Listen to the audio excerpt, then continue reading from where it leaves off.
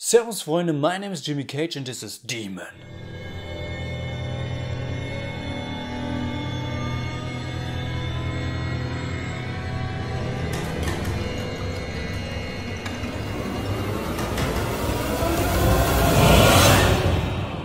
From the very first shot, the Polish movie Demon creates an atmospheric, eerie kind of feeling. But it's not really a horror movie, so don't expect jump scares or gore.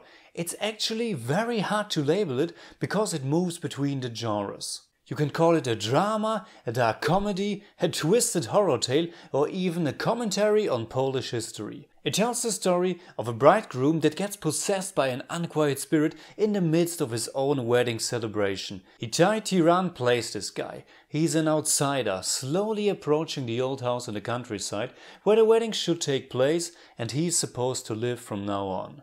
It's gonna be a big wedding because his new wife Zaneta has a big Polish family.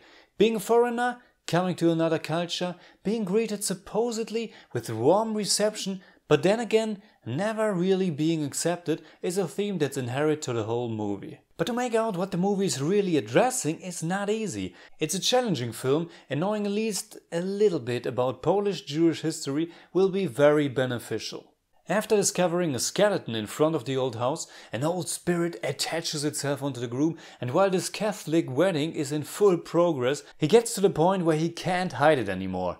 Demon has a great atmosphere. The entire movie takes place only in one location really and over the course of that one wedding celebration. It moves very slowly it is sometimes a little bit too slow, but the characters are so memorable and there are many humorous moments, so I didn't mind it that much. The father of the bride, his son, a priest, a doctor and a very old professor are the key figures in the movie that you can also describe as a mystery. Because once realized that the spirit is a Jewish one, you try to connect the few dots you are given in order to understand what's really going on and what might be the deal with this so-called dybbuk. Filmmaker Marcin Wrona doesn't give you many answers and it can be a little bit frustrating, but it's an intriguing movie nevertheless. I think he tried to convey themes of collective guilt, tried to open questions about the Jewish history in Poland and how the country deals with its past. Wrona does that without pointing fingers,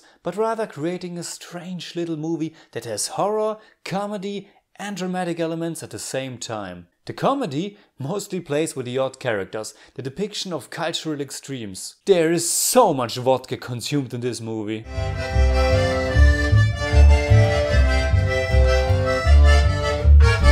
And a really great acting of Itay Tiran. The possession feels creepy and funny at times too.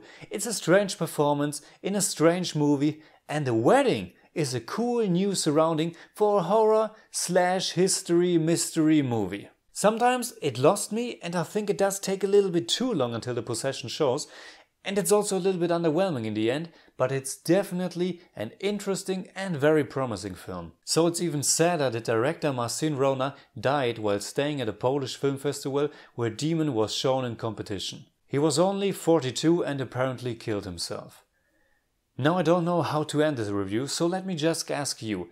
Maybe you've seen the movie? How did you like it? And also, what did you take away from it? Like always, please tell me in the comments below and if you enjoyed this video, give me a thumbs up, share, subscribe, whatever you like.